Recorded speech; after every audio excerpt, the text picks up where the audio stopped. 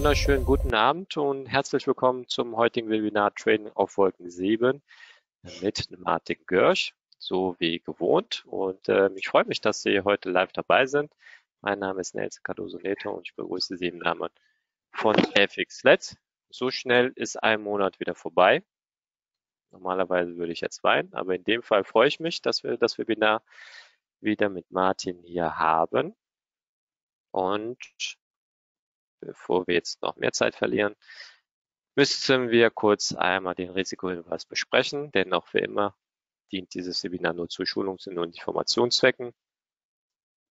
Sie müssen Ihre eigene Entscheidung treffen, unabhängig vom heutigen Inhalt und äh, dürfen dieses Event bitte nicht als Anlageberatung oder Handelsempfehlung verstehen.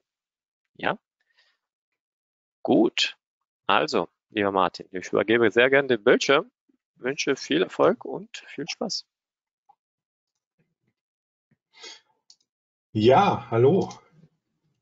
So, dann auch von meiner Seite ganz äh, herzlich willkommen heute hier zum Webinar mal wieder Ichimoku Kinko Hio Trendhandel auf Wolke 7. Wir werden wieder ein paar Analysen machen, werden uns äh, wieder ein paar Märkte anschauen. Wir haben es ja so gestaltet in der letzten Zeit, dass wir hier äh, immer mal wieder äh, Trades eröffnet haben. Das heißt, ähm, in den letzten Webinaren immer die Setups, die interessant waren.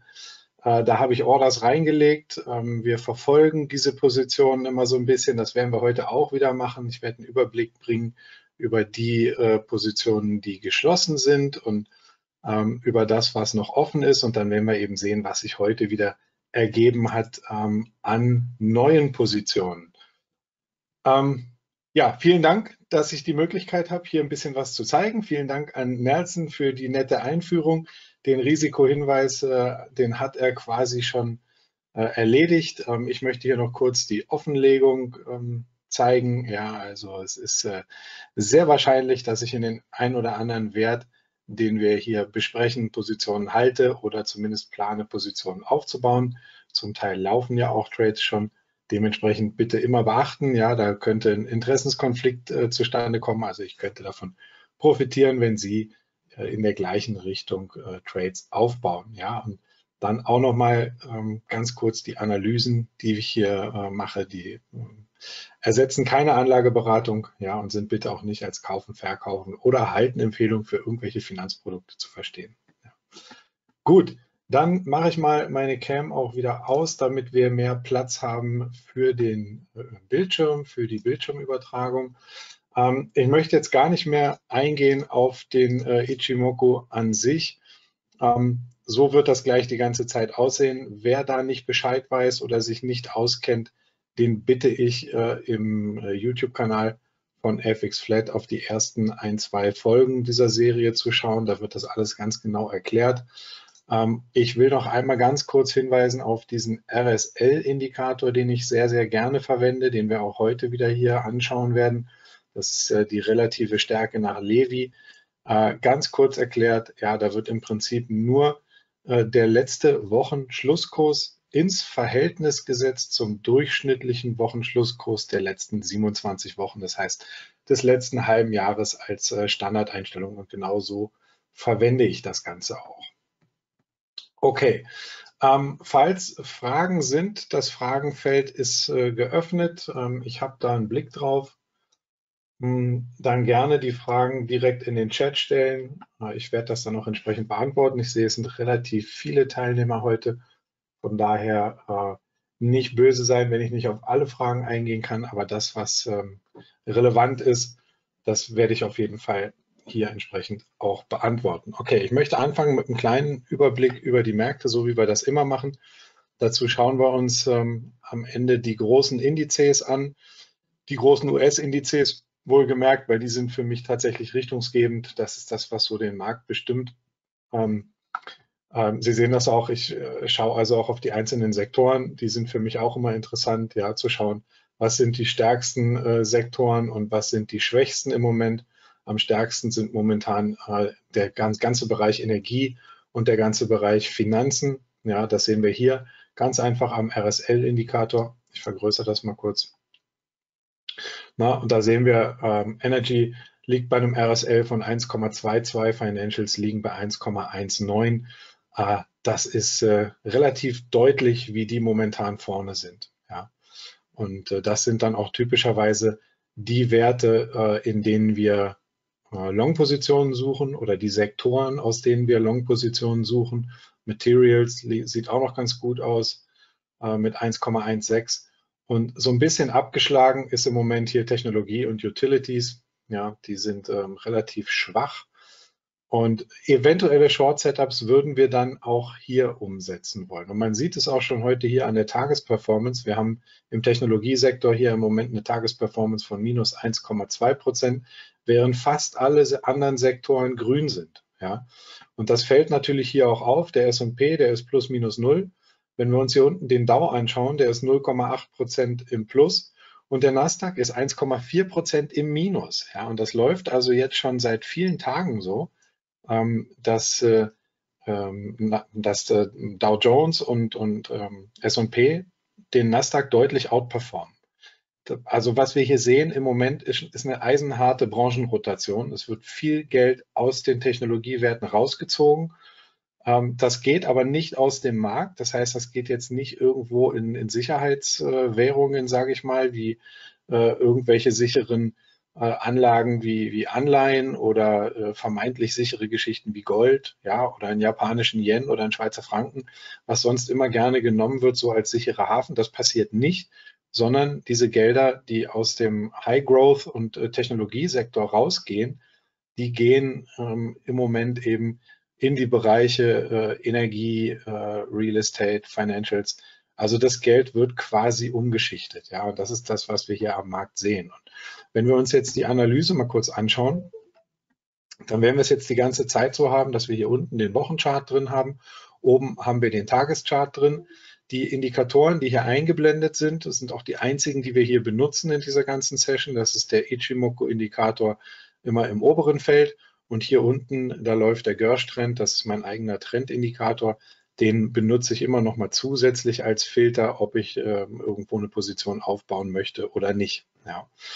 Ähm, das, was wir hier sehen auf den ersten Blick, wenn wir uns schon mal mit Ichimoku beschäftigt haben, ist S&P 500 im Wochenchart ganz klar aufwärts gerichtet, im Tageschart ganz klar aufwärts gerichtet. Alle Signale, die wir aus dem Ichimoku bekommen können, laufen ganz, ganz deutlich in die Long-Richtung und das ist der Vorteil, den wir im Moment haben. Das ist die Richtung, die wir traden wollen. Ja, und ähm, wir sehen es auch am Gersh-Trend. Das Momentum ist da. Ähm, sowohl im Wochenchart als auch im Tageschart ist das Momentum da, nimmt hier sogar schon wieder zu, die Trendstärke. Ähm, wir sind ganz klar grün.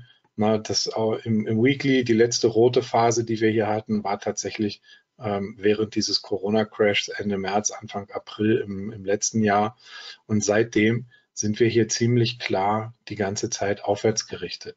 Ja, und im Tageschart sieht es ähnlich aus. Da hatten wir Ende letzten Jahres hier einen größeren Rücksetzer, der als ABC-Bewegung gelaufen ist. Da ist der Gerstrend in den negativen Bereich gegangen. Da sind wir dann auch unter die Wolke ausgebrochen. Das ist nicht besonders bullisch, haben das aber relativ schnell alles wieder zurückgeholt und sehen auch, dass wir ganz schnell hier wieder in den intakten Aufwärtstrend gedreht haben. Und seitdem äh, laufen wir hier in Sequenzen, ganz normal, ja, Impulsbewegung rauf, Korrekturbewegung runter, so läuft das die ganze Zeit hier. Aber wir sehen, auf dem Tageschart sind wir hier nicht einmal in den negativen Trendbereich vom Gerstrend-Indikator gekommen. Und dementsprechend ähm, ist das eben die Trade-Richtung, die wir hier nehmen wollen. Ja, wenn wir auf den Dow Jones gucken, da ist das Ganze noch deutlicher. Da sehen wir auch über die letzten Tage, wie extrem der gerade outperformt hier. Ähm, aber im Groben, das Bild ist das gleiche. Ja, wir sind sowohl in den Trendindikatoren als auch im Ichimoku bei, äh, bei allen äh, Signalen, die wir hier kriegen können, ganz klar aufwärts gerichtet. Jetzt wird es interessant. Schauen wir auf den Nasdaq. Wie sieht es da aus? Da sieht es nicht mehr ganz so toll aus. Ja, hier haben wir die ersten negativen Anzeichen auch aus dem äh, Ichimoku-Indikator. Wir sind also heute hier mit dem Kurs sowohl unter die rote als auch unter die violette Linie gebrochen. Sollte der Close heute schwach bleiben, also falls wir nicht gegen Ende des Tages wieder einen großen Teil der Verluste aufholen können und vielleicht am nächsten Tag das auch noch weiter fortsetzen, werden wir auch hier eine negative Kreuzung ähm, dieser beiden ja, Mittelwertslinien hier bekommen, der roten und der violetten. Auch das wäre negativ, ja, wenn die rote die violette von oben nach unten schneidet. Also hier kriegen wir erste Achtungssignale. Ähm, übergeordnet sieht es alles noch so aus, Trendindikator ist positiv, ja, Trendindikator auf Wochensicht ist positiv. Auf Wochensicht ist sowieso das gesamte Bild noch bullish. Ja, ich vergrößere das mal kurz. Ja, das erkennt man dann hier auch gut, wenn man sich die letzten Sequenzen anschaut. Ich hole mal kurz mein Zeichentool hier mit rein. Ähm ja, wenn wir uns hier die letzten Sequenzen anschauen, die hier gelaufen sind, ja, das ist im Prinzip die grobe, große Wochensequenz. Da sind wir ja tatsächlich vom Trend her erst innerhalb eines Trendbruches unterwegs, wenn wir die äh, 12.220 Punkte Marke hier nach unten äh, durchschreiten. Ja, vor vier Wochen haben wir, als wir die letzte Session hatten, haben wir schon damit gerechnet, dass das hier oben schwierig wird. Da hatte ich also dieses Widerstandslevel hier auch angezeichnet. Ja, und ähm, da haben wir schon die Gefahr gesehen, eventuell hier mit ähm, äh, so, ja, mit einem Korrektur, mit einer Korrekturbewegung auf dieses alte Hoch, auf diese beiden alten Hochs hier aufzusetzen, so im Bereich 13.300 Punkte. Das war im ersten Anlauf hier noch nicht passiert, aber das, was wir jetzt hier sehen und was auch nicht besonders schön ist fürs übergeordnete Bild, ist, dass wir hier so einen Doppeltop drin haben. Ja, wir haben das letzte Tief hier unterschritten das heißt, damit ist im Prinzip dieses Doppeltop kurzfristig bestätigt worden. Und das, was jetzt läuft, ist auch nicht gerade schön. Ja, wir kommen von hier, haben hier nochmal versucht, über dieses Hoch drüber zu gehen, haben es nicht geschafft. Hier hat die Abwärtssequenz begonnen. Und jetzt haben wir einen Rücksetzer gesehen, im Prinzip einfach nur nochmal an dieses alte Widerstandslevel, an dieses alte Tief. Und jetzt laufen wir Gefahr, hier nach unten auszubrechen. Ja, ähm, sollten wir nach unten ausbrechen, dann haben wir erstmal bei 13.3 hier ein Support-Level. Das kommt, wie gesagt, von den alten Hochs. Wir haben hier in diesem Bereich, wo die Wolke anfängt, ja, in diesem gesamten Wolkensegment haben wir eine Unterstützung. Die Wolke dient immer als Unterstützung. Und das letzte, was wir hier so an Support-Level noch bieten können, das wäre dann im Prinzip dieses Kauflevel hier um 12.8 bis 12.9. Wenn das alles nicht hält, dann finden wir uns mit einer sehr hohen Wahrscheinlichkeit relativ schnell hier unten wieder bei 12,2 bis 12,3. Ja, das sehe ich noch nicht. Also so weit ist es noch nicht. Ähm, die Bullen versuchen hier im Moment noch alles zu halten. Aber wenn man sich die Einzelcharts anschaut aus dem, S, ähm, aus dem Nasdaq, die, die einzelnen 100 Aktien, die da drin sind, dann werden wir sehen, dass da viele Aktien bei sind, die äh, auf dem Wochenchart gerade aus einer äh, Bear Flag ausbrechen. Also wir haben sehr viele extrem schwache Werte im Nasdaq drin. Und das ist natürlich kein gutes Zeichen. Wobei man jetzt auch sehen muss, die sind schon sehr weit gefallen. Ähm, die ganz schwachen Werte aus dem Nasdaq sind schon sehr weit gefallen. Die sind teilweise 40, 50 Prozent äh, unter den äh, Hochs. Und da ist auch nicht mehr so viel Luft nach unten. Äh, also wir werden sehen, wie sich das Ganze weiter fortsetzt. Das, was positiv ist im Moment für den Gesamtmarkt, ist, dass wir insgesamt steigende Indizes sehen. Das heißt, das Geld, was in den schwachen Aktien abfließt, das wird nicht aus dem Markt genommen, sondern das wird schlicht umverteilt. Ähm, und es wäre äh, schön zu sehen, wenn diese Rallye wieder an Breite gewinnt. Und an Breite gewinnt meine ich zum Beispiel, dass auch ein Russell 2000, den wir hier sehen, der also im Prinzip seit ja, fast Anfang des Jahres hier seitwärts läuft, dass der auch mal wieder ein bisschen Fahrt aufnimmt. Ja, wir sehen auf dem Wochenchart hier, wie eng diese Range ist, in der wir uns bewegen die letzten Wochen. Da ist nicht wirklich viel Bewegung drin. Ähm, Nochmal zur Erinnerung, ja, Russell 2000 sind so die 2000 kleinsten Werte ähm, börsengelistet in Amerika. Ähm, und die kriegen im Moment wenig Liebe. Ja, da wird nicht viel gekauft. Na, wir sehen es auch schön hier am äh, Trendindikator. Na, der kommt hier immer weiter nach unten, hat noch nicht negativ gedreht, ja, aber kommt immer weiter nach unten. Man sieht ganz klar, das Momentum geht hier raus. Und das, was uns im Moment hier interessiert, ist übergeordnet so ein bisschen dieses Bild hier. Ja, und da müssen wir jetzt abwarten erstmal, äh, ob wir hier einen Breakout kriegen. Wir haben, wenn wir nochmal hier unten diesen Bereich anlaufen, haben wir den Support aus der Wolke hier. Das ist sehr positiv. Wenn wir nach oben rauslaufen sollten, dann haben wir erstmal hier oben nicht mehr so viel, was noch im Weg steht. Ja, wir haben dieses Verkaufslevel hier. Ja, das wird der erste kleine, die erste kleine Hürde, die halte ich aber gar nicht für so groß, weil das ist nicht so besonders stark. Das, was viel stärker ist, ist nachher das, was hier oben drüber liegt. Ja, das kann man auch ein bisschen verkleinern noch, äh, ein bisschen genauer timen. Ja, dann liegen wir hier ungefähr in diesem Bereich 2350 Punkte. Das ist nochmal Widerstand. Na, aber wenn wir endgültig hier oben drüber gehen, über die 2350, 2370, äh, dann nimmt diese Rallye wieder an Breit zu, dann werden auch die kleineren Werte wieder mit Käufen bedient und dann könnte das Ganze noch eine ganze Weile weiterlaufen. Ja. Wir sind also ein bisschen im Moment an so einem Entscheidungslevel. Äh, kippen Russell und Nasdaq deutlich weiter nach unten, dann wird sich das irgendwann auch auf die anderen Werte mit übertragen und die werden abverkauft werden und dann kommen wir deutlicher zurück. Oder äh, schaffen Nasdaq und Russell das da noch wieder aufzuholen und ähm, nachher auch in die Party mit einzugreifen und dann haben wir wieder Platz nach oben. Ja, also das ist im Moment äh, das, das, größte, äh, das größte Problem oder die größte Schwierigkeit, die wir hier am Markt haben. Der Peter hat hier schon gefragt, könnten sich da die anderen Indizes anschließen in Richtung Sommer? Ähm, ja, aber wie gesagt, eben in beide Richtungen. Ja, es könnten sich die schwächeren Indizes Richtung der stärkeren anschließen. Wir haben aber auch immer die Gefahr, dass die stärkeren sich Richtung der schwächeren entwickeln könnten. Ja. Ähm, aber früher oder später wird es da wieder eine Anpassung geben. Wir werden halt einfach sehen müssen, in welche Richtung.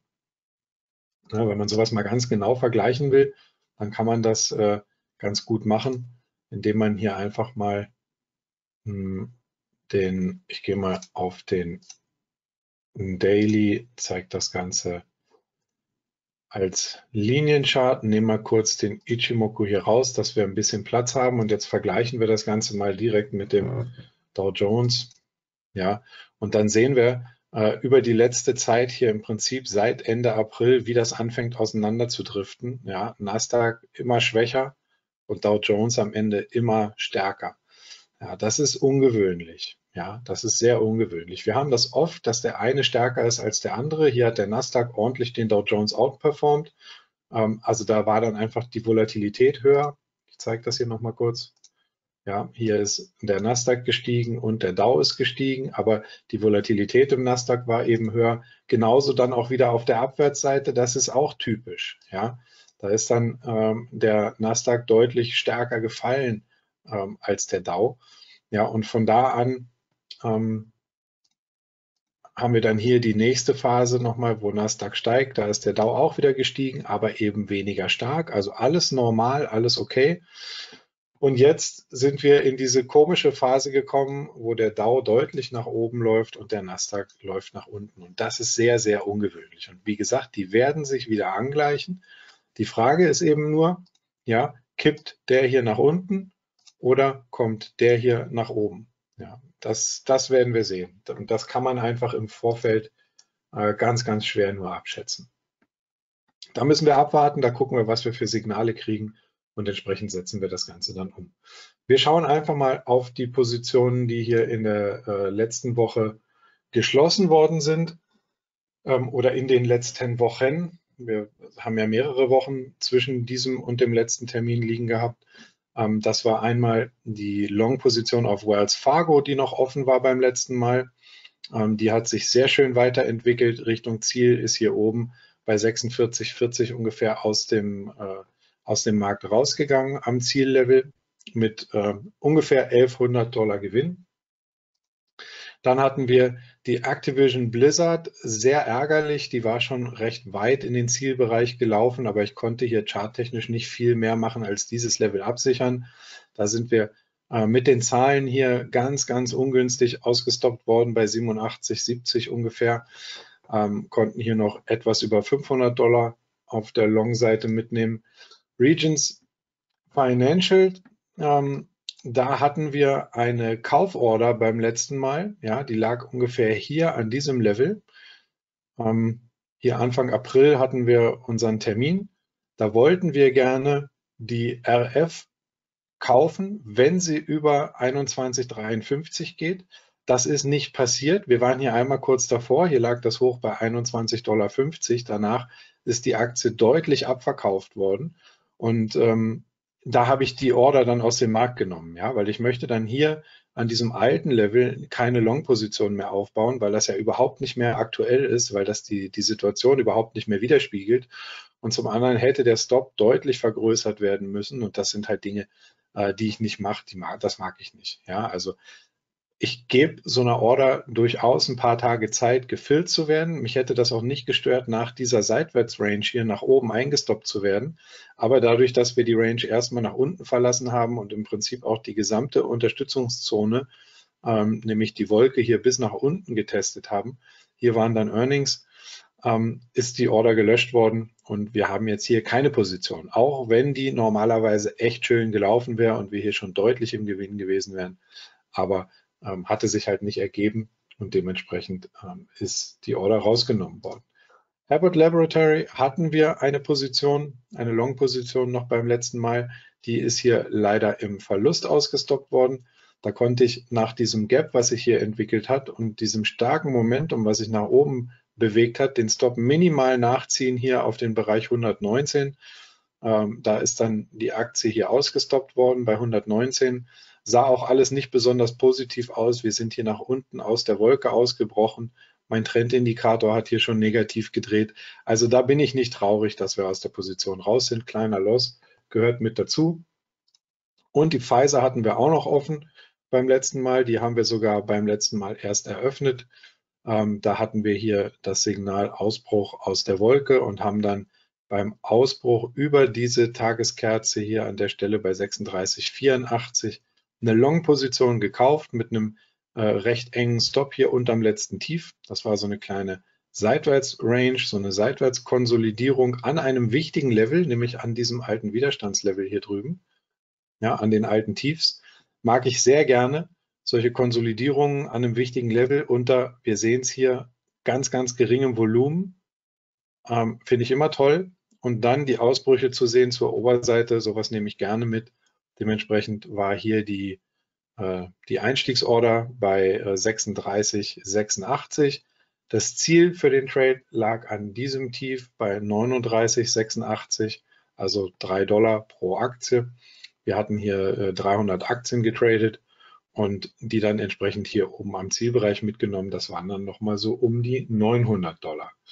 Jetzt sind zwei Positionen noch offen die auch beim letzten Mal schon offen waren. Das eine ist die CSX Corporation. Ähm, da hatten wir beim letzten Mal schon eine Planänderung drin, hatten das ursprüngliche Ziel, ja, was hier lag bei 95,30 ungefähr, das ursprüngliche Ziel aus dem Markt genommen und ähm, angefangen, die Position per Trailing Stop zu managen. Und jetzt im Moment liegt der Stop hier ein bisschen deutlicher unter diesem letzten Tief. Ähm, die Aktie macht gerade noch mal richtig Druck nach oben, gefällt mir extrem gut, ähm, weil es eben für diesen Bereich, äh, in dem CSX ist, ein, ein eher etwas schwächeres Marktumfeld ist und trotzdem sehen wir hier stark steigende Kurse. Ja, aber wir haben schon einen, einen, sehr, sehr großen Gewinn hier auf der Uhr im Vergleich zu dem, was wir an Risiko nehmen. Wir nehmen ja hier so immer zwischen 300 und maximal 500 Dollar Risiko auf der Unterseite ähm, haben wir hier jetzt schon einen wirklich großen Gewinn, ein Vielfaches von unserem Ursprungsrisiko.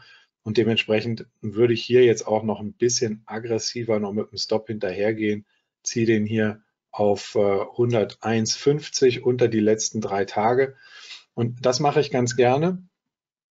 Kann ich vielleicht dann auch gleich mal äh, kurz hier zeigen. Das ist ein ähm, äh, ein Stop-Management, was ich gerne benutze, wenn ich charttechnisch nicht mehr wirklich was machen kann. Und zwar ziehe ich, wenn ich im Zielbereich bin oder auch schon über das Ziel hinaus bin und ich möchte eigentlich gerne aus der Position raus, will den aber so lange wie möglich ähm, auch die, die Chance geben, äh, noch weiter zu steigen, dann die beiden brauchen wir nicht. Dann ziehe ich sehr gerne einfach am Dreier-Donkchen hinterher, das heißt an dem tiefsten Tief der letzten drei Tage. Und das ist ähm, Na, ach so, jetzt habe ich vergessen, den auf 3 zu stellen. Das mache ich mal noch. Der steht hier noch auf 14. Äh, den stellen wir hier auf drei Tage und lassen den auch mal ein bisschen dicker anzeigen. So. Okay. Ja, ähm, und dann sehen wir, der steht jetzt hier im Moment bei 100,97, weil der nur auf die abgeschlossenen Tage schaut. Das ist 1, 2, 3. Also der Stop müsste jetzt bei 100,97 stehen. Ich gehe aber davon aus, dass wir hier heute nicht bis nach unten drehen. Morgen steht er dann am Tief dieser Kerze. Das ist 101,57. Da stehen wir jetzt genau richtig bei 101,52.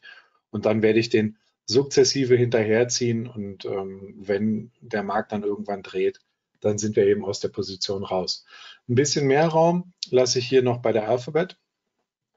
Ähm, die ist auch schon ziemlich gut äh, im Gewinn. Da sind wir 1300 Euro im Moment vorne. Ähm, da waren wir beim, beim letzten Mal noch mit dem Stop hier unter diesem, äh, unter diesem Korrekturlevel. Jetzt hat die Aktie hier das nächste Korrekturlevel ausgebildet, ist dann mit den Earnings hier deutlich nach oben gegangen. Die waren extrem gut im Übrigen. Ja, also ganz, ganz tolle Quartalszahlen hier von Google. Und jetzt kommen wir hier so ein bisschen nach unten und laufen auch so langsam in den ersten Abwärtstrend. Wenn wir hier unter die 2250 gehen, dann laufen wir in den ersten Abwärtstrend. Ähm, wenn man eng abstoppt, dann kann man hier schon abstoppen bei 2250. Ich möchte aber eigentlich gerne diese gesamte Korrekturphase, die hier drin ist, die möchte ich gerne abdecken und deswegen liegt der Stop noch unter dieser Tageskerze hier vom 6. April und da lasse ich den auch liegen, bis wir hier oben über 23,75 gehen, dann äh, würde ich an dieses Zwischentief hier schon hinterhergehen. Ja. Ähm, den Donk hier nehme ich mal wieder raus. Den brauchen wir jetzt hier nicht mehr. So, ja, dann ist das Ganze wieder ein bisschen sauberer. Ähm, okay, also das sind die Werte, die zum einen raus sind und die noch offen sind. Wir haben also noch zwei Positionen offen und jetzt schauen wir mal, ob wir was Schönes finden, was wir hier heute mit reinnehmen können. Es waren schon ein paar tolle Breakouts heute, habe ich schon gesehen, aber wir möchten ja gerne hier Positionen reinnehmen während des äh, laufenden Webinars. Wir haben ein Short Setup hier in der Micron. Und ähm, das gefällt mir ganz gut. Ja, wir sind zwar im Weekly hier noch relativ klar aufwärts gerichtet, haben aber schon diese rote Linie, zeige ich mal kurz hier, haben diese rote Linie schon nach unten durchbrochen und sind jetzt auch dabei, hier in dieser laufenden Abwärtssequenz äh, auf dem Wochenchart eventuell sogar einen neuen Trend aufzubauen, indem wir diesen alten Aufwärtstrend hier brechen. Ähm, und dann sind wir hier wirklich in einem Abwärtstrend drin. Und mir gefällt das deswegen ganz gut, weil die letzten Hochs hier weit weg liegen. Ja, wir haben hier bei 64,80 ein Hoch und wir haben hier bei 74,80 ein Hoch. Das sind zwei Zielbereiche, die man hier nehmen könnte. Und da ist relativ viel äh, Weg noch zurückzulegen. Ja. Ähm, auf dem Tageschart sehen wir hier ganz deutlich schon den Trend. Jetzt sind wir hier heute wieder dynamisch aus der Wolke ausgebrochen und sind schon unter dieses Tief gegangen. Normalerweise hätte ich gerne an diesem Tief hier den Breakout gekauft bei 82. Ähm, wir haben nochmal die Möglichkeit, hier unten bei 80,50 den Break zu nehmen. Das ist aber alles schon ein bisschen weit weg. Vielleicht kriegen wir ein kleines Retracement und können hier im Bereich des Retracements verkaufen. Ich will mal kurz schauen, wenn wir hier verkaufen, den Stop hier oben drüber setzen, ähm, dann haben wir bis zum ersten Zielbereich, ja, hier um 74, haben wir ein CRV von 1,7 ungefähr. Ähm, wenn wir das jetzt direkt verkaufen würden, dann haben wir hier, naja, im Prinzip immer noch ein 1,5. Äh, könnten wir machen. Also, dann nehmen wir mal kurz unseren Ruler. Wenn wir jetzt hier in die Short-Position einsteigen, direkt in die fallenden Kurse. Ich mache das nicht so gerne, weil die schon wirklich weit gelaufen ist, hier die Bewegung. Aber ähm, damit wir einfach mal ein kleines Short-Setup im Markt haben, da haben wir hier 5 Dollar Risiko pro Aktie. Ähm, da würden wir also auf eine Positionsgröße von äh, 60 Aktien kommen. Dann liegen wir bei unseren 300 Dollar. Viel mehr würde ich auf der Short-Seite hier nicht nehmen wollen an Risk. Das sind 6 Prozent. Und dann können wir hier so bis zum Ziel so ungefähr 440, 450 Dollar verdienen. Und das machen wir einfach mal. Das ist nämlich die einzige Aktie, die ich im Moment hier shorten würde. Ähm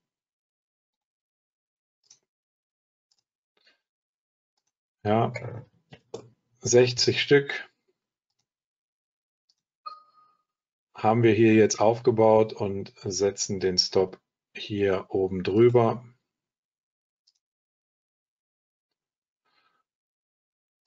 Na, komm her. So, als Kauf. Stop 60 Stück.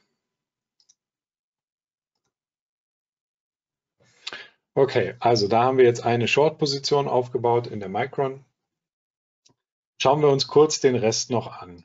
Ja, weil es sind einige Short-Setups, die hier im Moment auftauchen. Und ich bin auch nur deswegen bereit, hier eine Short-Position zu nehmen, obwohl der Gesamtmarkt insgesamt noch eher aufwärts gerichtet ist, weil halt die Technologiewerte so schwach sind. Ja, und das fällt halt auch sofort auf, wenn wir hier schauen in den Main-Sektor von den Short-Setups, die hier aufgetaucht sind, ähm, heute und auch gestern, dann sehen wir Technologie, Technologie, ja, hier ist Services, Technologie, Technologie. Gehen wir auf die anderen Signale, Chico Cross, Technologie, Semiconductor, Technologie, Semiconductor, ähm, hier, was haben wir hier? Technology, Technology, Technology, Technology. Es sind unheimlich viele Short Setups, auch hier heute wieder, die im Bereich Technologie entstehen. Und ähm, das ist halt ganz einfach ein, ein Zeichen für eine absolute Sektorschwäche.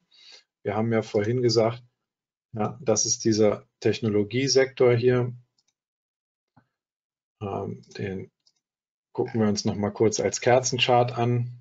Ja, im Tageschart ist der ganze Sektor inzwischen abwärts gerichtet. Wir haben hier auch dieses Doppeltop, wie wir es im, im Nasdaq gesehen haben. Ja, schönes Doppeltop hier drin.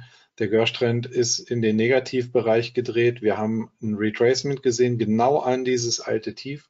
Wenn wir uns also jetzt hier nur mal schnell die Abwärtssequenz anschauen, dann haben wir hier mit dem äh, Doppelhoch gestartet, haben hier die erste Momentumbewegung gesehen, haben hier das Retracement gesehen und laufen jetzt Gefahr, diese Bewegung hier nach unten weiter fortzusetzen. Und weshalb mir das hier so gut gefällt, ist, wir haben nichts anderes gemacht, als dieses alte Tief hier nochmal zu testen in dem Rücklauf. Und das ist auch genau das Kurslevel hier von dem alten Hoch. Ja, also das ist ein ganz, ganz wichtiger Bereich hier um die 140 Punkte äh, im äh, Technologiesektor vom S&P. Äh, und entsprechend bin ich bereit, hier schon mal aggressiv in den Short reinzugehen. Ja, das ist dann typischerweise so, wenn der Gesamtmarkt schwach wird, dann werden diese Werte noch stärker abverkauft. Äh, das sollte dann auch ein ganz guter Hedge sein für Long-Positionen, die wir hier eventuell noch aufbauen. Ähm, okay, schauen wir mal auf die, auf die restlichen Setups. Ähm, die gefallen mir hier alle nicht so gut. Ja, wir sind hier überall in relativ starken Unterstützungsbereichen. Ja, das zeige ich mal kurz. Ja, hier, das ist ein starker Support-Bereich, an dem wir uns befinden. Da ist halt einfach nicht mehr viel Platz bis zum Support-Bereich. Da möchte ich hier nicht mehr shorten. Ähm, dementsprechend kommt das nicht in Frage. Skyworks ganz ähnlich. Ja, hier unten die letzten Tiefs ist äh, Support. Man sieht es schön auf dem Wochenchart. Ja, dieses alte Hoch, die alten Tiefs hier, das ist alles Support, da ist nicht mehr viel Platz. Ähm, wir sind hier auch übergeordnet, ähm, im Prinzip überall noch relativ bullish. Ja. Äh, Restaurantsektor würde ich hier im Moment sowieso nicht shorten. Es könnte ein, ein Reopening-Play auch sein, Chipotle Mexican Grill.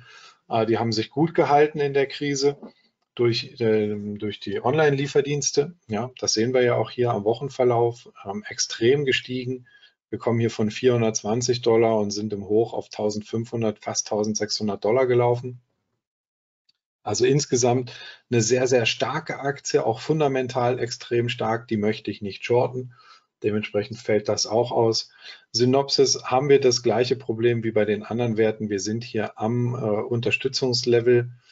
Ähm, ist nichts, wo ich eine Short-Position aufbauen möchte. Ähnlich sieht es bei der Salesforce aus. Ja, schöner Kaufbereich hier unten. Na, dieses ganze Level hier ist Kaufbereich. das passt einfach nicht mehr vom Chance-Risiko-Verhältnis. Ja, und entsprechend ähm, kommen diese Trades dann für mich auch nicht in Frage. Gut, gucken wir auf der, auf der Long-Seite. Da haben wir hier eine Fox, die gefällt mir sehr, sehr gut. Ähm, noch besser ist eigentlich die A, die ist hier schon ausgebrochen nach oben ähm, über die letzten Hochs. Also das sieht am Ende noch ein bisschen schöner aus. Aber ähm, wir kriegen hier jetzt noch das bessere Chance-Risiko-Verhältnis. Ja, wir haben bei beiden das gleiche Problem. Das, was äh, so ein bisschen ungünstig ist hier, ist diese alte Verkaufszone, ja, die an dem alten Tief hier liegt. Ähm, das ist etwas ungünstig, weil das ist ein starker Widerstandsbereich. Aber mir gefällt es ganz gut, dass wir hier Earnings hatten. Am 6. Mai, glaube ich, hatte die Fox Earnings. Ähm, da schaue ich mal kurz bei mir auf die Liste. Fox, äh, genau, ja, wir hatten am, am 5. Mai hatten wir hier Earnings mit einer, ähm, mit einer EPS-Überraschung von 50 Prozent. Das heißt, es ist 50 Prozent mehr verdient worden pro Aktie, als die Analysten erwartet hatten. Das ist ein deutlicher Beat. Ähm, wir sind auf dem Weekly hier ganz klar in Long-Richtung unterwegs. Äh, das letzte Retracement hat hier nicht das letzte Tief rausgenommen. Ja, und jetzt sind wir dabei, hier wieder so eine neue Aufwärtssequenz aufzubauen.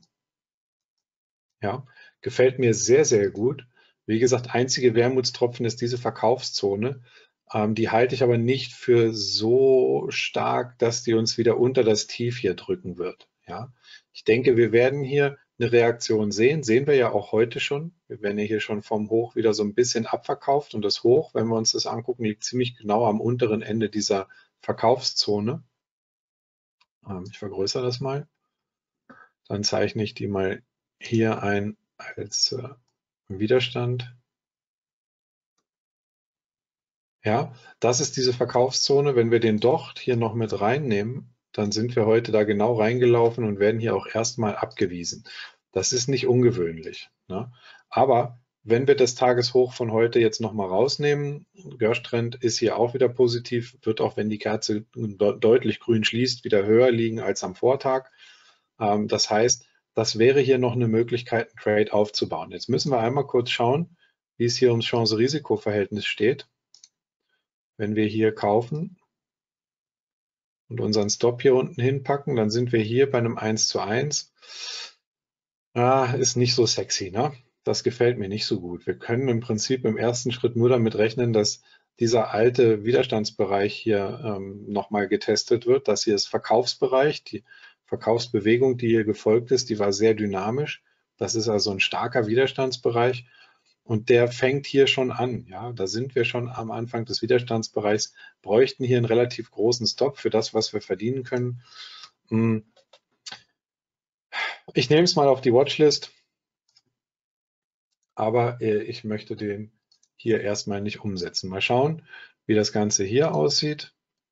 Vielleicht wenn wir das in einer Korrektur nehmen, in der Fox A, da sind wir mit dem 1 zu 1 hier, da wären wir hier mit dem 1,2, 1,3 zu 1, ist auch nicht so viel besser. Ja, also den lassen wir erstmal vorbeiziehen. Äh, da gehen wir erstmal nicht rein. Was haben wir hier? Äh, VNO. Ich hole mal den Wochenchart wieder mit rein. Um, um, durchwachsen, ne? Durchwachsen. Wir sind hier noch in der Wolke auf dem Weekly, finde ich nicht so toll. Wir haben hier oben die Widerstandslevel, da sind wir schon einmal gescheitert, direkt hier am Verkaufslevel. Ja, schauen Sie sich das an. Wenn wir hier oben reingelaufen sind in diesem äh, Verkaufsbereich, hier sofort abgewiesen, schön abverkauft, nicht so ideal. CME Group gefällt mir gut. Ähm, die gefällt mir gut. Die hatten schönes Momentum hier drin. Ähm, CME, wann hatten wir hier Earnings? Am 28. April. Ähm, das heißt, seit den Earnings sind wir hier ein bisschen aufwärts gerichtet, hatten so eine kleine Korrekturzone. Aus der sind wir heute dynamisch ausgebrochen. Hier sind die alten Hochs, ja, über den Hochs erstmal gescheitert an diesem alten Bereich hier. Und wenn wir jetzt den Break sehen, hier über die, meinetwegen 210, über diese Hochs drüber, dann haben wir eine gute Chance, hier deutlich neue Hochs zu machen. Und da würde ich die Ziele jetzt dann auch am Wochenchart suchen und da liegen wir am Wochenchart hier bei 224. Das Tief hier, das liegt bei 200. Wenn wir 210 kaufen, dann haben wir 10 Dollar Risiko mit, ähm, 24, mit 14 Dollar, die wir verdienen können. Das ist ein 1,4. Das finde ich total in Ordnung. Ja, also legen wir noch eine Order rein für die äh, CMI 210 bis 200 sind 10 Dollar. Ähm, wir sind übergeordnet aufwärts gerichtet. Ähm, ja, aber wir haben diesen starken Abverkauf hier auf dem Weekly. Wollen wir die Risiken nicht zu groß gestalten, dann nehmen wir auch nur eine, einen 10er Lot, also 10 Aktien bei 210. Kauf, Stop, 10 Stück. Und die werden wir dann verknüpfen hier mit einer Stop Order bei 200. Und das Ganze verbinden wir jetzt hier. Also wenn die hier oben ausgeführt wird, dann wird die hier unten scharf geschaltet. Ja, damit wir nicht für den Fall, dass die Aktie jetzt hier runterkommt, dass wir dann nicht hier bei 200 eine Short-Position aufbauen, das hätte ich nicht so gern. Okay. Ähm, Xerox haben wir ein Long Setup, gefällt mir nicht. Da sind wir hier noch mitten in der Widerstandswolke auf dem Wochenchart, finde ich nicht so ideal. Ähm, Paka, wow, Paka gefällt mir gut. Äh, ist auch ein toller Bereich gerade. Wir sind auch hier, wenn wir uns das mal anschauen, hm, aus einem Keil ausgebrochen heute. Ja, das ist so, ein, so eine typische Keilformation schöner, dynamischer Ausbruch zur Oberseite. Traden können wir es allerdings nicht, ja, weil der Stop hier sehr, sehr groß ist. Ja, mir wäre dieses Stop-Level bis zu dem letzten Tief hier, das ist mir zu groß. Die Bewegung gefällt mir extrem gut. Ähm, die, die Branche gefällt mir sehr gut im Moment für diese ganze Recovery-Geschichte, die hier läuft, also Reopening Trades. Ähm, aber das Setup passt einfach nicht vom Chance-Risiko-Verhältnis und von daher lassen wir die auch vorbeiziehen. Kimberly Clark gefällt mir überhaupt nicht, ist hier choppy, seitwärts, will ich nichts mit zu tun haben. Ähm, Regeneron gefällt mir schon deutlich besser, ist im Weekly noch im intakten Abwärtstrend, ähm, ist auch noch mitten in der, in der Wolke, äh, fällt deswegen für die Setups, die wir hier traden wollen, weg, aber insgesamt gefällt mir das gut als Bodenbildungsphase, als eventuellen neuen dynamischen Aufwärtstrend, der hier beginnt, ist auch noch ein ganz nettes Level zum Einsteigen, ähm, aber ist eben noch gegen den übergeordneten Abwärtstrend auf dem Wochenchart. Und deswegen ähm, lassen wir das auch vorbeiziehen. Edison International äh, hat überhaupt keine Richtung, ähm, interessiert mich also auch nicht. American Airlines Reopening Play. Ähm, wir sind im Weekly aus der Wolke ausgebrochen sind oberhalb der violetten, die blaue ist über dem Kurs, ähm, Görstrend ist grün. Das sieht also alles ganz nett aus.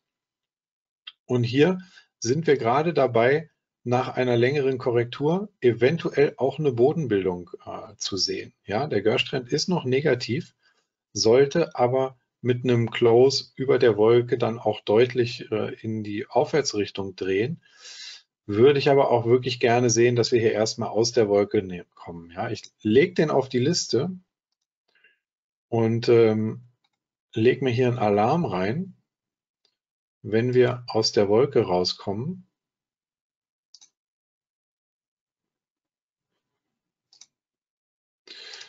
Und äh, dann lasse ich mich benachrichtigen, wenn das hier rausgeht, schaue mir die Situation nochmal an. Eventuell baue ich hier in der American Airlines eine Long-Position auf. Das möchte ich jetzt aber an dieser Situation hier noch nicht entscheiden. Hm. Ich würde davon ausgehen, dass wir auch dieses letzte Hoch bei 26 Dollar hier überschreiten. Ist allerdings ein hartes Level. Ja, wenn wir uns das auf dem Wochenchart hier angucken, ich vergrößere mal den Wochenchart, äh, nehme das hier mal kurz weg. Ja, also das sind so ganz typische Korrekturlevel, mit denen wir hier arbeiten können, ganz, ganz typische Kursziele. Hm, und zwar ja, diese alten Tiefs hier, diese alten Bereiche. Na, ich zeichne mal gerade die Sequenz ein, die hier gelaufen ist. Wir sind auf dem Weekly hier in dieser Sequenz abwärts unterwegs gewesen. Wirklich schön. Ja, äh, hier konnte man jede Korrektur mehr oder weniger gut verkaufen.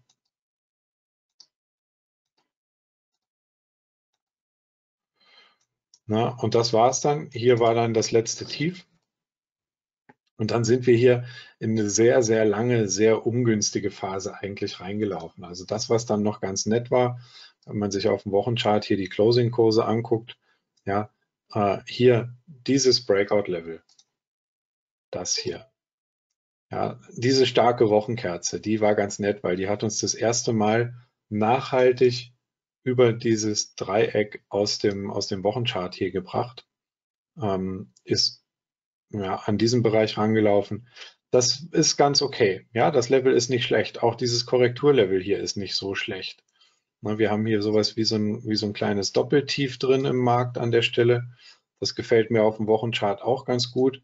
Nur das, was ich jetzt zeigen wollte, dieses erste Kursziel hier, was wir angelaufen sind, dieses hier, ja, dass wir hier stark abverkauft haben und erstmal hier abgewiesen worden sind, das ist überhaupt nicht ungewöhnlich, weil das ist ein ganz wichtiges Level. Wir haben hier einmal, zweimal, dreimal, viermal dieses Level von oben getestet, bevor der Markt da durchgegangen ist. Und so wie der da durchgegangen ist, mit dieser Dynamik, ja, ist ziemlich klar, wenn wir da hinlaufen, dass wir da auch erstmal wieder abgewiesen werden. Das ist also nicht ungewöhnlich. Das ist etwas, was man hier erwarten sollte und dementsprechend, wenn wir uns jetzt die äh, laufende Aufwärtssequenz anschauen, ja, und gehen hier mal rein, dann sieht das Ganze, naja, wenn wir den kleinen Swing hier noch mit reinnehmen, sieht das Ganze so aus. Und jetzt sind wir in einer A-B-C-Korrektur, ja, und haben aber eine gute Chance, wieder die alte übergeordnete Trendrichtung hier aus dem Weekly äh, wieder aufzunehmen.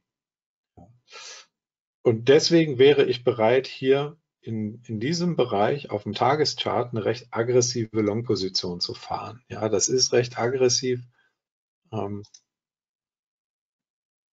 aber das, was wir hier sehen würden, von dem Tief kommt, ja, wäre im Prinzip sowas. Jetzt haben wir hier ein kleines Retracement gesehen ans Ausbruchslevel gefällt mir auch gut. Das kann ruhig noch ein, zwei Tage seitwärts gehen. Ja, und dann würde ich gerne diesen Break nach oben sehen und äh, den dann auch entsprechend umsetzen. Fürs CRV würde das bedeuten, ja, wenn wir irgendwo hier in diesem Bereich kaufen und äh, den Stop dann hier unten drunter packen, dann hätten wir hier bis zum ersten Zielbereich so um 25,80, 25,90 hätten wir hier schon so ein 1,7, 1,8 zu 1 ungefähr. Das finde ich total in Ordnung. Und ähm, die würde ich eventuell sogar staffeln wollen, die Position. Das heißt dann einen Rest äh, laufen lassen. Ja, die Hälfte hier mitnehmen und die andere Hälfte nach Möglichkeit laufen lassen. Weil wenn wir die Möglichkeit kriegen, ja, in so einem Recovery äh, tatsächlich wieder mal irgendwie in Richtung hier des 40er Levels oder so zu laufen. Ja, dann kann man da richtig viel drauf mitnehmen. Und das kann eine ganz entspannte Geschichte werden, wenn man dann im Prinzip einfach äh, an den großen Swings die Stops hinterherzieht und weiter nichts zu tun hat. Ja. Also das gefällt mir ganz gut. Ähm, dementsprechend haben wir den auf die Liste gelegt und hier auch einen Alarm reingepackt. Ähm, was haben wir hier noch auf der Long-Seite? eBay äh, sehr, sehr stark. Ja, seit den, seit den Earnings hier sehr stark unterwegs. Äh, gefällt mir auf dem Wochenchart gut das Bild, weil wir hier eine ziemlich klare Begrenzung zur Oberseite haben. Ich zeige es mal kurz. Hm. Ja, hier oben liegt die obere Begrenzung und hier kommen wir äh, wie in so ein Dreieck rein. Also die die Tiefs, die sich hier ausgebildet haben, ja, die Tiefs, die kommen auf immer höherem Niveau. Hier würde ich jetzt eigentlich gerne sehen, dass wir uns nochmal hier ran bewegen, vielleicht wieder runterkommen, wieder ein höheres äh, Tief ausmachen und dann nach oben ausbrechen. Das wäre für die langfristige Orientierung ganz schön. Den Einstieg hier auf dem Tageschart, ja, der ist äh, nicht in Frage gekommen. Den hätte ich auch nicht gekauft, wenn, wenn wir hier äh, heute ganz früh schon diesen Breakout gesehen hätten. Einfach aus dem Grund, dass hier ein Widerstand liegt. Ja, da ist, der, ist die Aktie jetzt einfach durchgekracht. Ähm, das weiß man aber eben vorher nicht. Dementsprechend hätte ich hier unten keine Long-Position mehr aufgebaut. Ja, das wäre mir einfach zu spät gewesen, hier an der Stelle eine Long-Position aufzubauen. Äh, hier hätte auch das Chance-Risiko-Verhältnis nicht gepasst mit dem Stop hier unten drunter und dem Ziel hier beim Gap Close. Das hätte auch nicht funktioniert. Jetzt haben wir hier noch ein Gap zu diesem Schlusskurs, was hier offen ist, ein kleines Gap. Das könnte jetzt der Kurs sein, der angelaufen wird. Dann könnte es vielleicht zu einer Korrektur kommen. Sieht aber auf dem Tageschart alles nicht so sexy aus, dass ich da unbedingt äh, mit dabei sein muss. Ja, dementsprechend äh, die Situation an sich gefällt mir ganz gut, aber auf dem Tageschart gefällt mir einfach äh, der Kursverlauf nicht. Was haben wir noch? Xerox mit dem Kumo Breakout Long. Ähm, kommt für mich jetzt hier auch nicht in Frage. Sieht ganz nett aus, ja, ist ein Dreieck. Vielleicht kommen wir hier aus dem Dreieck raus. Aber das, was mich hier stört, ist auch ganz schnell gezeigt, äh, dieses äh, Level hier. Ja, genau das, was wir uns gerade angeschaut haben, hier das alte Tief aus 2019, ganz, ganz wichtiger Tiefbereich. Wir sind hier äh, brutal gestiegen von da an, ja, haben hier deutlich zugelegt, 50 Prozent ungefähr hat die Aktie hier gemacht, ist dann ziemlich heftig hier durchgekracht. Und jetzt sehen wir schon, was passiert, wenn wir dann in der Aufwärtssequenz an dieses Level wieder ranlaufen. Ja, wir sind an das Level rangelaufen, sind abgewiesen worden und laufen seitdem hier mehrere Wochen äh, seitwärts bis leicht abwärts. Äh, ist für mich nicht interessant zu kaufen. Ja, möchte ich äh, gar nicht sehen, sowas. Äh, Packer hatten wir uns schon angeschaut. Ähm, KMB ist gar nichts, ja, ist hier abwärts gerichtet, ähm, hat hier einen Widerstandsbereich, äh, interessiert mich nicht. Regeneron hatten wir uns auch schon angeschaut, glaube ich, ähm, haben gesagt, hätten wir gerne gekauft. Warum sind wir denn jetzt eigentlich wieder hier oben? Die haben wir doch schon alle durch. American Airlines, eBay. Walt Disney ist das nächste. Walt Disney gefällt mir gut, weil ich es fundamental einfach mag. Ja, ähm, wo, wo wir hier allerdings aufpassen müssen, ist, ähm, Walt Disney liefert am 13. Mai Zahlen. Ja, das ist, das wäre hier. Hier auf dem Tageschart am 13. Mai kommen hier Zahlen. Also wir fangen mal kurz an mit dem Wochenchart. Ähm, ja, gefällt mir gut.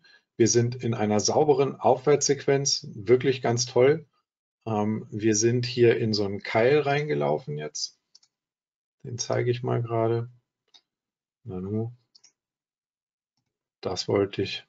Ja, hier ist dieser, dieser Keil im Prinzip, in dem wir uns befinden oder ein Dreieck oder wie auch immer man das hier nennen möchte. Ist am Ende egal. Es ist eine Konsolidierung über die Zeit. Ähm, ich rechne hier jetzt auch nicht damit, dass wir einen dynamischen Ausbruch kriegen, noch bevor die Zahlen kommen, auch wenn die sicherlich gut werden werden. Aber ähm, wir haben das ja in der letzten Zeit öfter gesehen, dass auch äh, gute Zahlen einfach abverkauft werden. Ja, sei es Microsoft, sei es Amazon, äh, sei es heute äh, The Trade Desk äh, hervorragende Zahlen gebracht, also wirklich gut. Ähm, Earnings deutlich über den Erwartungen, Umsatz leicht über den Erwartungen, ähm, Guidance am oberen Ende und trotzdem ist die Aktie um, um 10, 11 Prozent, glaube ich, direkt abverkauft worden. Ja, deswegen möchte ich mich hier vor den Earnings äh, nicht positionieren, ähm, aber auf dem Daily, wenn wir uns das anschauen, ja, das Signal, was wir hier gekriegt haben heute, ist der Ausbruch über diese ähm, violette Linie. Das ist das Einstiegssignal von heute. Wir sehen auch, dass die blaue noch nicht über dem Kurs ist. Ähm, das äh, dürfte auch schwierig werden, ja, weil wir hier 26 Wochen, äh, 26 Kerzen ja das Ganze zurücksetzen. Das heißt, wir können uns hier schon äh, anschauen, wie das für die nächste Zeit laufen wird. Und das wird erstmal weiter seitwärts laufen, die blaue, genau wie der Kurs hier im Moment ist. Ja. Ähm, also wir müssten über 191 gehen, damit die blaue, wenn sie hier 26 Wochen zurückversetzt ist, dann oberhalb dieser Range steht. Ja, das können wir also jetzt schon sagen, wenn wir über 192 gehen oder hier, wenn es noch ein paar Tage dauert, über 190 gehen, dann läuft die blaue Linie über den Kurs. Okay? Ähm, das ist aber noch nicht so weit. Das ist aber meistens das letzte Signal, was wir kriegen am Markt. Insgesamt gefällt mir diese Bodenbildung hier ganz gut. Ja, wir haben äh, die Tiefs, die hier nicht mehr viel deutlicher weiter nach unten gekommen sind und jetzt auch schon wieder leicht ansteigen. Das ist hier wie so ein Doppeltief, also ein Ausbruch über dieses Hoch hier. Das wäre eine Bestätigung für dieses kleine Doppeltief. Und der Ausbruch über dieses Hoch, der würde hier auch parallel laufen mit dem Ausbruch aus der Wolke. Gefällt mir auch gut. Und wenn es dann sich weiter nach oben entwickelt, dann kriegen wir auch hier unten im Gersh-Trend sicherlich äh, die ersten, ups, die ersten grünen Kerzen wieder. Ja, das heißt, ich mache das hier jetzt genau ähm, wie bei der CMI was. Ne, bei der CMI haben wir eine Order reingelegt. Ähm, ich weiß gar nicht mehr genau, aber irgendwo lassen wir uns äh, informieren. Das mache ich hier genauso. Ich hinterlege hier einen Preisalarm und fertig. Ja, weil hier gefällt mir auch das Chance-Risiko-Verhältnis gut. Wenn wir irgendwo in diesem Bereich hier einsteigen, und haben unseren Stop hier unten, na, dann liegen wir hier bis zum alten Hoch, so bei 203. Und wenn die Zahlen gut kommen, dann sind wir, glaube ich, ganz schnell hier wieder deutlich über 200 Dollar und dann haben wir doch ein bisschen was, was wir hier äh, mitnehmen können. Ja, hier müssen wir eben immer sehen, Disney ist gut aufgestellt gewesen für die Krise. Na, wenn wir schauen, seit März hat sich hervorragend hier entwickelt. Ich gehe hier mal mit dem Ruler kurz ran. Wir haben seit dem Corona-Tief bis zum letzten Hoch hier 160 Prozent in der Aktie gemacht. Das ist ordentlich. Ist auch eine klare Outperformance äh, gegenüber den Indizes. Und das Ganze eben wohlgemerkt, obwohl über die meiste Zeit in dieser Aufwärtsbewegung die ganzen äh, Disney-Vergnügungszentren noch geschlossen waren. Ja, und die machen jetzt so nach und nach auch wieder auf. Die sind, die sind halt erstmal nur zum Beispiel Disneyland Florida darf nur besucht werden von äh, Gästen, die auch in Florida Residents sind. Die dürfen also nicht aus anderen Bundesstaaten dahin kommen und es darf auch, glaube ich, nur 40 Prozent Auslastung sein oder so. Aber das geht langsam wieder los. Ähm, und für die gesamte Pandemiezeit war Disney gut aufgestellt mit Disney Plus. Ja, haben sehr, sehr starkes Wachstum, äh, starkes Userwachstum für Disney Plus. Und ich gehe davon aus, dass das auch jetzt in den Earnings wieder äh, gut dasteht. Wir haben immer noch den gesamten Bereich Merchandising-Artikel, die sich gut verkaufen, eben auch über die Online-Stores. Und jetzt kommt im, im Zuge des Reopening kommen eben die ganzen äh, Disney Worlds wieder mit dazu, die eröffnen. Und äh, das sollte auch nochmal wieder einen Umsatzschub bringen. Und von daher ist Disney ein Wert, den ich schon gerne ähm, mit auf der Long-Seite hätte. Ich nehme den also mit auf die Long-Liste und dann schauen wir nochmal, was da geht. So, Cabot Oil and Gas überhaupt keine Chance zu kaufen. Ja, ist unter der Wolke, ist äh, deutlich unterhalb dieser letzten Seitwärtsrange. Auf dem Weekly klar abwärts gerichtet, ist nichts, was ich gerne kaufen möchte. Clorox genauso wenig. Clorox hat hier äh, den Run gehabt in der ersten Zeit der Corona-Pandemie. Ne, ähm, Desinfektionsmittel und so ein Kram ist, glaube ich, auch nicht mehr so das, was im Moment gerade gehypt ist. Sieht man ja auch, Abwärtstrend ist intakt. Na, ist nichts, was ich kaufen möchte. Okay, dann haben wir hier noch eine Handvoll Signale. 3M auf der Long-Seite, sehr, sehr schön. Ja, wirklich schön, aber Breakout ist schon gelaufen. Ähm, hätte ich gerne genommen in dem Bereich hier 203 mit dem Stop hier unten bei der 196 äh, unter diesem Tief, weil wir eben ein Ziel haben, was hier weit weg liegt. Ja, das nächste Ziel, das liegt hier bei 217, 218 Dollar. Das wäre ein tolles Chance-Risiko-Verhältnis gewesen. Ähm, aber die ist uns definitiv weggelaufen heute. Die hätte ich aber äh, gerne hier fürs Depot drin gehabt. Äh, Procter Gamble macht hier äh, am Ausbruch rum, gefällt mir prinzipiell ganz gut die Bewegung, hätte ich aber auch gerne schon den ersten Ausbruch hier gehandelt, diesen. Ja, warum? Einfach wegen dem Chance-Risiko-Verhältnis. Wir haben hier einen Widerstandsbereich, da werden wir auch heute gerade erstmal abgewiesen. Das ist Verkaufsbereich hier, den kann ich mal markieren. Ja, das ist der Verkaufsbereich, sehen wir, da sind wir reingekommen, werden direkt abgewiesen. Und der nächste Verkaufsbereich, der liegt hier schon knapp oben drüber, na, in diesem Bereich hier, so ungefähr da. Ähm, und da ist halt jetzt einfach nicht mehr so viel Luft, deswegen hätte ich den gerne hier unten gekauft. Fällt also auch aus, gefällt mir aber prinzipiell vom Chart her gut, sieht auf dem Wochenchart gut aus, sieht auf dem Tageschart gut aus, könnte bis 145, 146 Dollar wieder hier rauflaufen. Ähm, Broadcom haben wir ein Short Setup, äh, kommt für mich nicht in Frage, ist auf dem Weekly hier noch ganz klar bullish. Wir haben hier ein wichtiges Support Level, ganz wichtig. Können wir auch einzeichnen auf dem Tageschart. Ja, ist dieses Level hier ganz, ganz wichtig, passt auch gar nicht vom Chance-Risiko, äh, ist also nichts, was hier in Frage kommt. AMD, puh, super schwach, ja, wirklich super schwach. Ich mag die Aktie fundamental sehr, sehr gerne, deswegen habe ich Schwierigkeiten hier zu shorten und möchte hier auch nicht shorten. Aber hier ist der Short-Bereich oder der, der richtige Punkt zum Shorten ist relativ einfach zu finden, nämlich unter diesen Triple Lows hier. Wir haben hier drei wichtige Tiefs im Markt und das, was die Aktie hier gerade ausbildet, wenn wir mal auf den Tageschart gucken und ein bisschen geschult sind Richtung äh, Formationen, ja, da kriegen wir hier so eine schöne, wie eine SKS, die hier gerade entsteht, äh, würde bedeuten, sehen wir einen Ausbruch nach unten, dann hätten wir das hier ungefähr als Kursziel an diesen Ausbruch nach unten dran gelegt und dann kommen wir ja ungefähr hier in diesen Zielbereich um 54 Dollar. Ich kann es mir fundamental, wie gesagt, kaum vorstellen, dass AMD dahin läuft und ähm, deswegen würde mir das auch extrem schwer fallen, hier eine Short-Position aufzubauen. Äh, möchte ich auch äh, schlicht und ergreifend nicht, obwohl im Prinzip alles passt. Ja, der Trendindikator auf dem Wochenchart ist Short, der Trendindikator ne, auf dem Tageschart ist Short. Wir sind im Daily hier unter der Wolke. Ähm, wir sind unter den beiden Linien. Die blaue ist kurz davor, unter den Kurs zu fallen.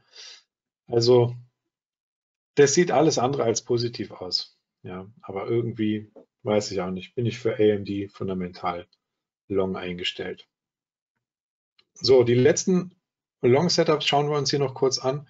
Da haben wir hier Southwest Airlines. Das ist eigentlich die Airline, die mir so am besten gefällt von allen US-Airlines. Auch fundamental finde ich die ziemlich klasse. Äh, da sind wir hier gerade in einem Bereich äh, aus einem Dreieck eventuell auszubrechen. Ja, hier haben wir so ein, so ein ganz schönes Dreieck, was sich hier ausgebildet hat. Äh, wenn wir auf den Wochenchart schauen, dann sehen wir auch, dass wir hier schon Richtung Allzeithoch unterwegs sind. Ja. Und hier kommen natürlich jetzt nochmal dicke Widerstände. Bei 64, äh, 66 Dollar. Dicke Widerstände ist auch schon sehr, sehr weit gelaufen für eine der Fluggesellschaften, die ja wirklich gebeutelt sind hier über die Corona-Zeit. Ähm, könnte ich mir vorstellen, dass die Aktie hier eine ganze Weile braucht, um durch diesen Bereich durchzugehen. Und deswegen möchte ich sie nicht unbedingt kaufen zu diesem Level. Ja, das wäre was, die hätte ich gerne hier unten gekauft, in dem Bereich, na, um 50 Dollar. Äh, jetzt finde ich schon fast ein bisschen weit gelaufen, aber fundamental gefällt die mir gut. Äh, was haben wir noch? Walgreens gefällt mir vom Verlauf her auch gut. Ja, Medizin äh, Supplier quasi.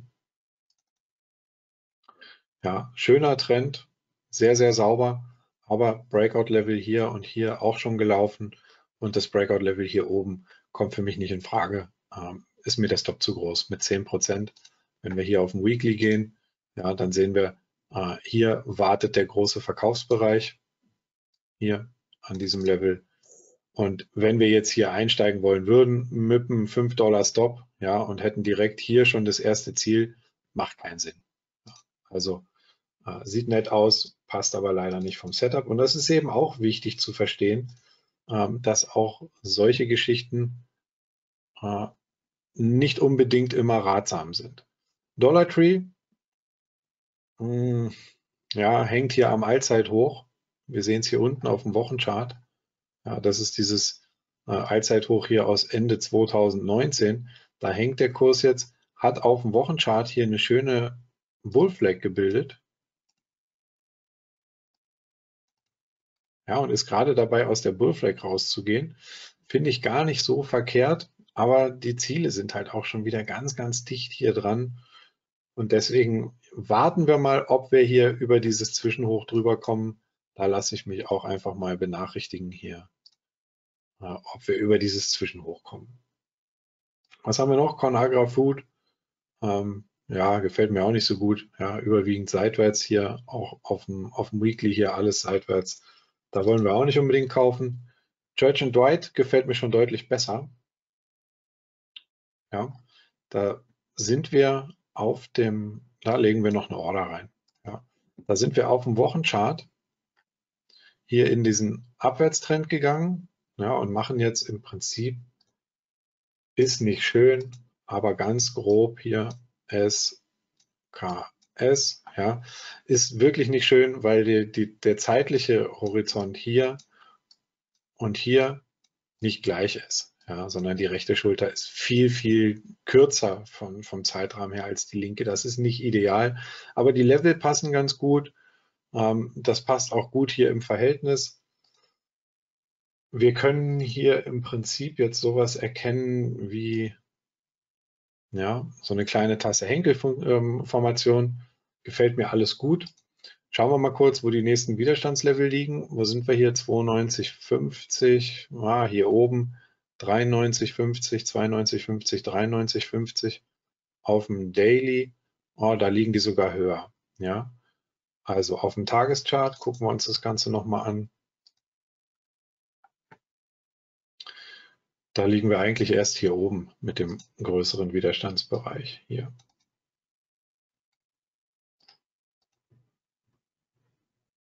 Na, über diesen hier würden wir dann schon drüber laufen bei 90, 24. Trading Setup wäre 90, 25 oder 90, 30. Die Long-Seite nehmen mit dem Stop. Ja, 97, 30 ungefähr. Da haben wir einen 3 Dollar Stop, haben hier ein 1,5 zu 1 bis zum Kursziel 95 und könnten hier na so 100, 120 Aktien könnten wir hier schon traden. Hm. Das machen wir einfach noch.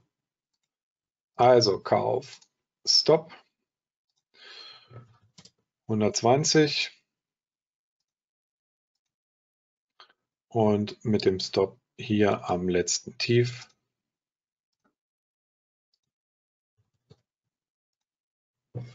Verbinden das Ganze wieder. Ja, und haben dann hier oben bei 95 würde ich auch tatsächlich direkt rausgehen wollen. Verkauf Limit 120.